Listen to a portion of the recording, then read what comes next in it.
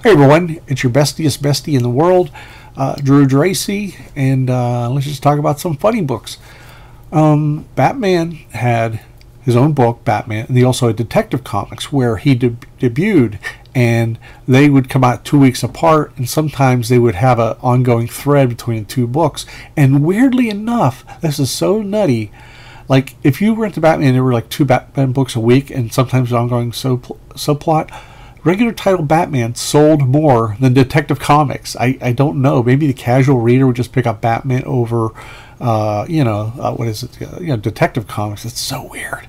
Well, um, Brave and the Bold was the third book, but it was a team up book. It was originally um, Brave and the Bold started off with like uh, the Shining Knight and all these other characters uh, that they were trying out, and then eventually, I don't know, like around sixty or seventy or something, uh, they decided making a Batman team up book. And uh, what's funny though is Bob, the writer Bob Haney, he had this really charming uh, dis disinterest in continuity. there was a Green Arrow issue, and Bruce Wayne was a senator. and you know what? It's like at first were a kid, like, that's wrong, and then you you get won over by the script and the art, and it's like you know it's only comics at the end of the day. Um, Mike W. Barr, great writer, really overlooked. Nobody really talks about him. He he did uh, Brave and the Bold. I mean, excuse me, he did um, Camelot 3000. He did a uh, late. Uh, yeah, late '80s version of Detective Comics with Alan Davis, and uh, the second uh, Jason, the second Robin, was actually very likable. And then later on, uh, Son of the Demon, which revealed that Batman had a son. It was uh, drawn by Jerry Bingham, and then there was more, but I don't know why. I mean, maybe he chooses not to. Maybe he's got going into another field, or people. I don't know. People are weird. There's a lot of great talent out there that aren't getting work anymore, and that's a shame. You know, for because it's a youth-oriented culture. You know, what can you say? But uh, okay, let me get the point. Brave and Bold 200 came out, uh, and they decided to shake things up a little bit. You know, they they I think later on, I noticed this uh, discussion, like with other team up books later in their run, is if they didn't have a great character as the co star, the sales would be affected. So, uh, and usually uh, the co star was a lot of times you used characters that were homeless. You had uh, uh, Metamorpho, you had Mr. Miracle, you had um, Green Arrow, and all that. It was really good, and it was only Bat book I actually I bought because it was consistent, you know. And I loved the Aparo's version. I mean, I love I love Neal Adams version too, but it's just I first got first books I ever picked up with Batman had Jim Aparo. Uh, so what happens is in the first issue of Batman and the Outsiders, Batman is basically telling uh, the rest of the uh, Justice League to go pound salt and uh, I don't know what that means. That's an old timey phrase. Norm MacDonald would have known what that is. But anyway, so he finds his team, Metamorpho, they're old pals. They're, uh, they go way back, and Black Lightning and him have been pals as well. Katana is an all new character. I love that design. And Halo, she's a 16 year old amnesiac, and uh, but she little by little she's learning about the world. And Geoforce, he is this uh, royalty uh, Prince Byron who uh, control. He got these powers to control the elements. So a real nice mix of different, you know, characters and different powers. And Mike W. Barr's writing. Jim Aparo, not only the penciler, not only the inker, he's the letterer, and he's been the letterer, and it, it, that's just amazing to me. It's like you just don't see that package, and he really made everything like that. Love that long panel there And it's like when they started Batman Outsiders, I really thought, oh, you know, if it's not just Batman or one of the character, maybe Aparo won't be into it or maybe won't be that great. But I was wrong. Um, what's really cool though is not that a Spider-Man ad in a DC comic that happened a lot back then. Um, Mike Barr wisely decides to not have any thought balloons or word balloons, you know, except for this guy coming in you know, it's not like she's saying, you know, spirits of my ancestors or yeah, everybody says that kind of shit. But uh, yeah, you know, let's and the acting of the figure by Jim Aparo is just fantastic. You know, you know exactly what's going on, and because uh, some artists need to have uh, you know a bunch of captions and such. I like the coloring too by Adrienne Roy, and. Uh, I like Metamorpho too. So uh, Katana's sword is laying around. They found it and uh, they grabbed it. She grabbed it and it's speaking to her. And says, "You are not Katana." I know, but I'm a friend. And uh, she leads away. Not much further, you guys. And there's Black Lightning. Like now, uh, always in every superhero comic back then, there was always a one character who always like had one foot out the door, and he's like, I like the outsiders, but I wonder what good I'm doing. And now, much long or how much longer I can go before my conscience drives me nuts because he. Uh, he was a school teacher, and I guess this was, you know, he he was getting divorced from, you know, being in his neighborhood, and, and much like the Falcon, who was a social worker. So uh, that's a nice little subplot. But it's so funny how, like, he, I showed in a previous episode with the, the champions, it's like Iceman was ready to leave by issue four, and uh, there goes Geo Force. And he is, if his costume looks familiar, there's that old Dodge, two things crash together. Um, there's Jared Kubert.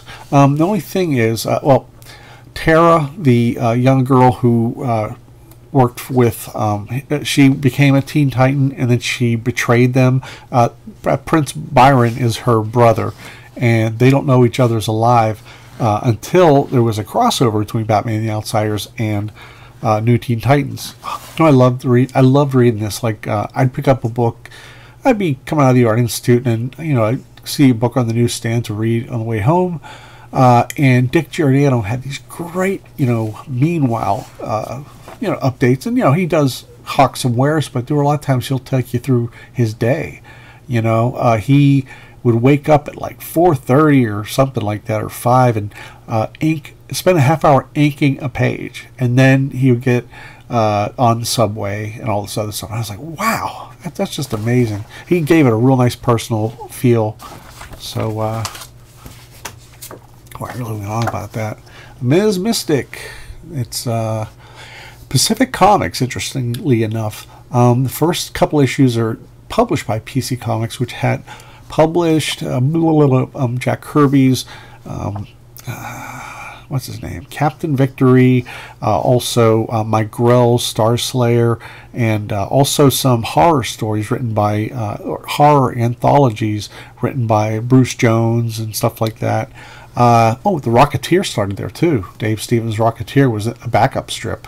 Uh, I can't remember what the actual book was, but anyway two issues got public, published, but Pacific Comics, which was the distributor, they either went out of business or decided not to get in the comics game anymore because to fight Marvel and DC, you know, that's not easy, especially back then when you didn't have you didn't have message boards, you didn't have ways to um, communicate with fans and try and build a fan base. You know, it was either you saw the book or you saw the 57 uh, Marvel reprint books that came out that week that people would gravitate to. Uh, so there was a, this book was basically annually done because uh, um, Neal Adams was very ambitious about publishing. He later on published his own. Uh, he became Continuity Studios, which is the name of the studio where many artists graduated from. Uh, and uh, so what he did was this first for a couple issues, it's all Neal Adams except Cory Adams, who I, could be his brother, could be his son, I'm not sure. Uh, lettering by the great John Costanza, and uh, beautiful stuff, beautiful stuff. Um, her power is she summons power from the earth. Uh, her power is kind of vague, but she's really, in my opinion, like way too powerful. But this is pure Neal, and I like the coloring too. It's very bold for 1984. You know, it's perfect. It was really advanced. So people go on about uh, Malibu and their colors, but uh, you like the like the skin there. I mean, that's uh, amazing stuff. And apparently, when she is in trouble, she can summon uh, Mother Earth to get her out of problems. And I hated that. I hate that. It's like, you know, why even bother struggling? Just say, okay, I'm, I'm a uh, avatar for Mother Earth. I'm going to kick all your asses. Be no, you know, there's no discussion, no argument about this. Uh, oh, by the way, she does create Earth 4, which is they have different elements. Like uh, one guy's water, and another. It's a long story. But it's beautiful. It's beautiful. Sunrunners. I covered that once before. Another PC comic. This backup is by a guy named Chris Miller, and I don't know who he is. And shame on me because uh, I could always look it up. But if anybody knows, please comment below. I really like this style. I can't really quite describe it. It's got a little bit of, I don't know, a little Mike Ploog or something like that. I don't know. Let me know below, please. Uh, as many comments as you want, give them to me. So, Peter Parker's Spectacular Spider-Man. Such an uneven book. Oh my gosh. The first like year or so was awful. Uh, it was created, it was the only second book, Spider-Man book, aside from Marvel Team Up. Very much like Batman was. Uh, and Gerry Conway just he created it. Uh, he decided to write it, but you know he left after three issues because then he went over to DC and he upset a lot of apple carts. And so this book was messed up. They had so many different writers. And thankfully, Sal was kind of a steady. Uh, yeah, he was the yeah him and Esposito were the steady continuity um, creators. Uh, but anyway, like issue six had a Morbius story, but on the inside, the, the, cover said so, but on the inside it was a reprint of Marvel Team Up 3, which was ridiculous, or 3 or 4, because the book wasn't even 10 page, you know, 10 issues old. And uh, then they've continued the story, but that's very Bronze Age Marvel. But you know, I love it. I love the, love that posing. Archie Goodwin took over for a while, and then Bill Mantlo took over. But uh, it's pretty cool because uh, last time uh, Vulture showed up in Amazing Spider-Man, you know, he wasn't, I don't know, he was interesting, but he seems really like trying to get back to say, hey, you know, I'm a tough guy. Love that. Clotheslined by a branch. Archie Goodwin is a master storyteller, and I like that Morgan, who is this uh, bad guy, is he's like this um, this head mobster uh, in Harlem, and he's usually with the Falcon. He's always trying to make trouble with the Falcon, or Falcon's always trying to break up his schemes. Uh, you know, no matter what it is. Uh, Vulture comes out, and he comes out like a real badass here. Hangs him down, and he's like, "Ah, oh, you humiliated me, you piece of." Uh, Sha Shan and uh, Flash Gordon, possibly the most boring uh, subplot ever. Uh, some cool stuff going on. And what I do like is at the time, there was a lot of time spent on like little things like this. He gets up, he changes, and he's like freezing, little stuff like that. It's got a lot of charm to it. There we go.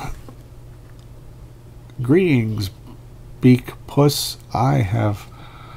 I hear you've been looking for me. Ah, much better, much better. This is a great page here. That'd be a nice page to own. really fun, exciting stuff. And, and Sal's just put all.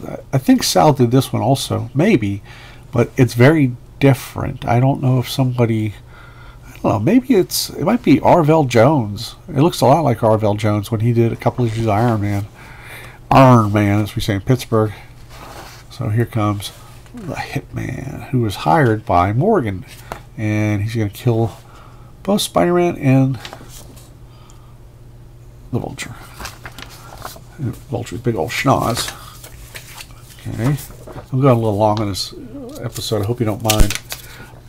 Now, I found this uh, in the dollar bin, and it's really nice production. It's uh, Entity Comics. It came out in 1993. Cats Studio. However, uh, it falls a little short. I mean, they spent a lot of money. There's like a ton. This this is like this paper is like thick enough to cut down a tree to make another piece of paper like this. Um, I love that costume. That is a fantastic costume. Um, you know, as an inker, I have to say I don't like the inking. It's too rough and too. You know, it's kind of. I don't know. It, it's kind of muddy and. Uh, I don't know. The inker, inker could have practiced a little more. I hate saying that. I don't want to be a dick. I'm just saying it's not strong. It it's but the coloring is great, and the storytelling is top notch. I really like it, and uh, it really is. And uh, oh yeah, who is this? Uh, I hate logos that you can't read. It says Metal Militia, but if you go back this and you put it on the shelf, you won't know what the frig that is. So, this is the only issue I found. Oh, really nice page here. So, and there's Legends of the Dark Moon. And again, the inking is just real scribbly and sloppy. But, you know, I think with a little time, I don't know if there are any issues afterwards. Uh, I think the uh, inker would have gotten better. So, because I never try and openly discourage uh, anybody from honing their craft. Uh, Daredevil 300. I love Daredevil, as you know. I'm always covering it. It's so funny. This was this costs more. Usually, it's for cover enhancements. Like back then, you know, of course, foil. Uh, but the only special thing they did, it's so funny. Shiny paper versus matte paper, which means flattened, non-reflective. And uh, Lee Weeks was on the art, and uh, you know, Senti wrote it for a while. But then this is uh, DG Chichester, and uh, he, he gets a lot of flack. I don't know what it is. Um, his Daredevil is really good. Um, he did the thing where he could tell the story with uh, uh of how how Matt Murdock slash Daredevil sees things. Like he would talk about smells and touching and all kinds of stuff. How he operated, and he could follow people. And uh, what I love about this is that. At the time, Jason still had that, uh, you know, that Adolf mustache going, which was ridiculous. You know, there's there's staying, there's one thing is like staying on model, and then there's change with the times, and it changed with the times eventually, but it was like the late '90s, I think. So he he used uh, Lee used the um, Venetian blinds to cover up that bad mustache, the the very bad mustache. And uh, same thing happened with David Mazzucchelli, I think. Uh, he did Jameson too. So really sweet stuff. And you've got you got Lee Weeks. I mean, I loved his stuff. I always followed his stuff. Real nice guy. Inker Al Williamson. Long time. He got he inked all of John, John Romita Jr. stuff too. He's just fantastic. A legend from EC Comics in the 50s. And he just became he did uh, Star Wars adaptation of uh, oh anyway I can't even say but he did some beautiful stuff at EC Comics.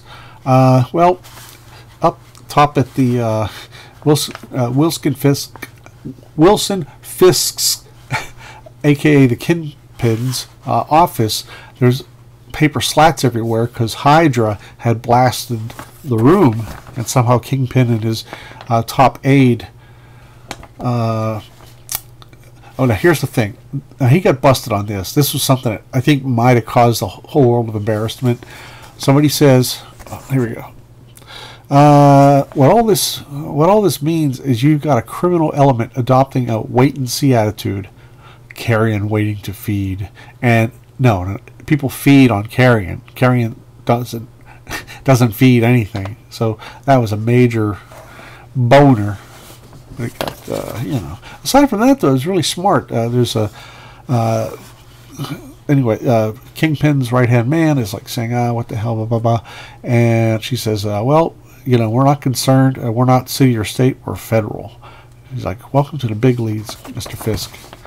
And what's really cool about this issue is, okay, going back to the Born Again storyline, where um, basically Frank Miller, David Mazzucchelli took everything away from Matt Murdock. You know, he took away his law license, took blew up his home, uh, just did all kinds of stuff. Uh, and for years, um, uh, Matt Murdock was like a short order cook in Hell's Kitchen. And what's amazing is at the end of the storyline, the six issue stories, they didn't reinstate him at all. Didn't all get you know you know, tar- you know, cleaned up and everything. And it went on for years like this. He was almost homeless. You know, he was just, and he and Karen Page had reunited after she sold him out, and uh, that's the whole story there. But uh, anyway, so he's sweating a little bit because he's getting some attention, and and the, what brought the feds to his attention was Hydra has been trying to horn in on Kingpin's. Uh, extremely prosperous, uh, prop, I can really talk now, prosperous uh, dealings, and he won in, and he's like, you know, fuck you. But uh, he has a flashback to when he's a kid, where he was, you know, like a a mule for uh, drugs and stuff like that. And he accidentally killed somebody, and that's sort of washing its hands. So we kind of give him a little bit of a, a, a little bit of like what he was before. Um, so he's getting out of court, and Matt goes, uh, Re- recess, free time, enjoy it while you can, Willie. Murdock.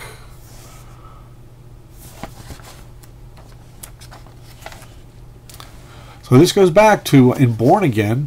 Uh, what happened was uh, there was Matt Murdock was stuck in a cab that got submerged underwater after he took a beating, and this other guy, the cabbie, was in there as well, but they didn't quite show that until now. This is a flashback.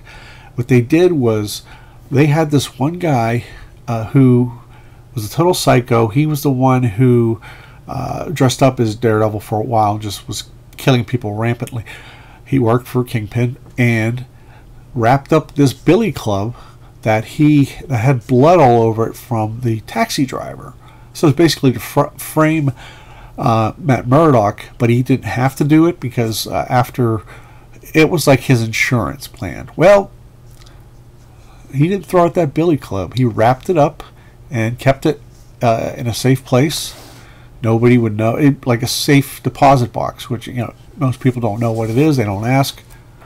And uh, look at it. Oh God, that art Lee Weeks was so he's so advanced at this stage. Even he's just like crazy. So, know what's wild is uh, Kingpin's. Uh, he gives him the uh, gives him some money. He goes, uh, "Chill." But uh, the guy on the other side says, uh, "Chill." Been sitting in the back so long. What's with the rush? Come on, man. Give Given the dead presidents, you want the goods. Five hundred fifty in storage and late charges. I, I don't have that much cash on me. I'll have to be on credit.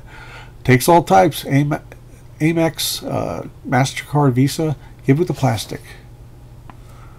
And he sees Daredevil. I've done nothing wrong. That's not what the plastic people say, man. Your card's been rejected. What? It's mine. Shh. Crazy mother effer. I've, he sees Daredevil and he's like, I've done nothing wrong. That's so. It's just stunning. It's like he's losing his mind over a lot of things that were piling up prior to this. Uh, now you have. God, Lee Weeks art so great. So he is clutching this. Uh, he tells him, "Go away. I've made a deal with. Everything's been taken care of. Everything. I'm going to make you and all your other troubles just go away." You know, sound like a deal. In fact, it sounds like the one I had uh, had the system free you. In fact, it sounds a lot like the one I had the system free, free you from.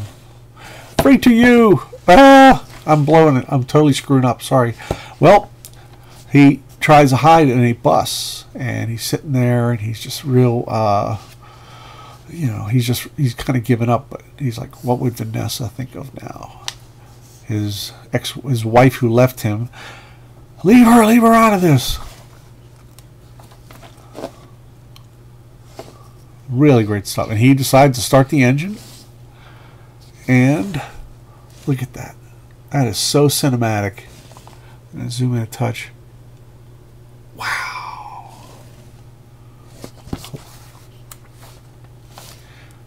And he swings free there. I don't know why this story isn't referenced more. It's such a great issue. Ah, look at that. Lee Weeks is just, he, he can do no wrong.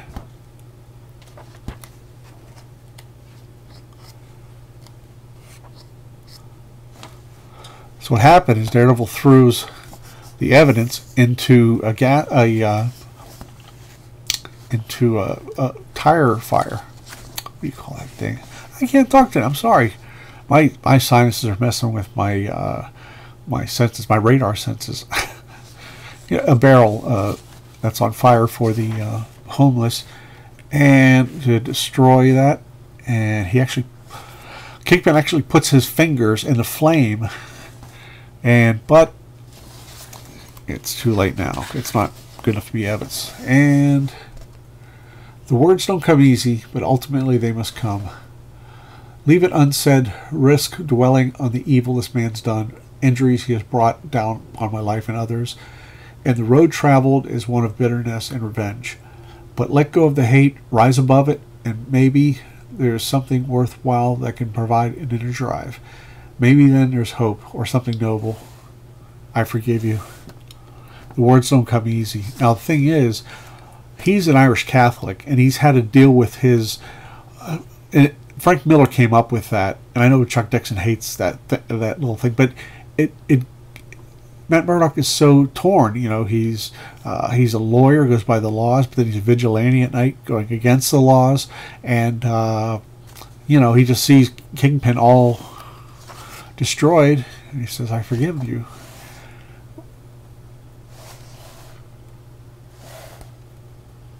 Anyway, what happens is he's about to get his uh, due. He says, uh, "Speaking a minute, how's about you picking up my shirts tomorrow, Willie?" I don't understand you. Let me explain to you. I put the tab for your bail, yeah, and I'm going to help fix things, help you uh, get you off the Malper Broads hook.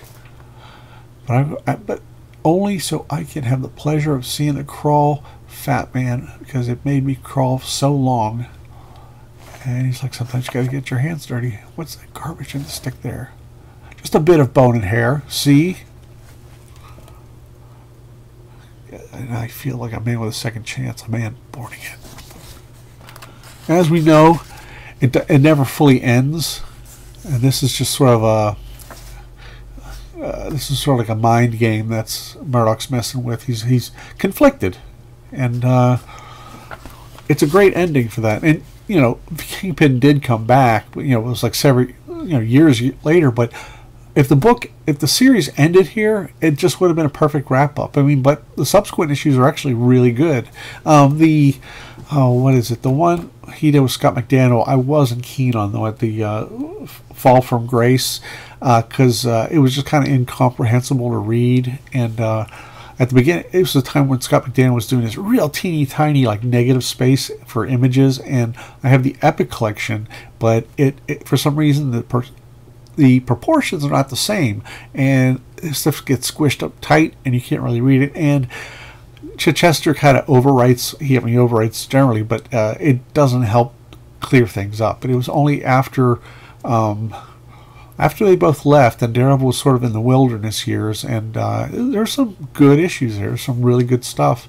So, uh, okay, I dragged this on way too long. I probably wasted eight minutes by stumbling over my words. but uh, anyway, I hope you enjoy it. Leave any comments below, pro or con, what you think of one character, and also help me help answer some of the questions I like might have for Ms. Mystic, uh, and also tell me uh, whatever whatever's on your mind. Okay, and uh, comics related.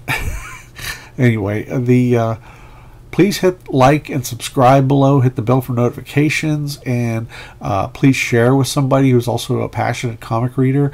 Um, and uh, that's it. And leave plenty of comments below. I don't argue with anybody. Um, you know this is just a fun uh, youtube channel. And uh, and i don't but i don't encourage any like bickering between people either. It's just hey, throw two cents in. You know, I mean, uh, there's people I've disagreed with, and I'm like, well, you know, that's okay.